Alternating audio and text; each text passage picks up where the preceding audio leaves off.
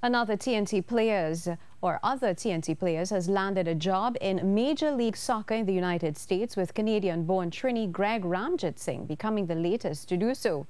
The highly thought-of goalkeeper who won back-to-back -back United Soccer League titles with his former teammate Louisville City has inked a deal with the Orlando City SC, the team of fellow Trinidadian professional Kevin Molino. The now 25-year-old Ranjitsingh is reunited with his former coach at Louisville City, James O'Connor, who switched to Orlando back in June.